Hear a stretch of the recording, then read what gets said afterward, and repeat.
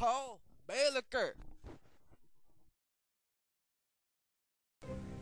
Yo, we kicking it at the Grand Rapids Public Museum. Is it recording yet? It's the side of the Grand Rapids Museum. Yeah. There I am. My name is Dominic. Yo. What up, Felicia?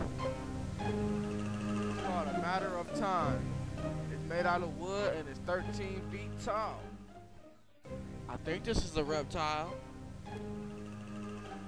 At 12 o'clock hour is bird life.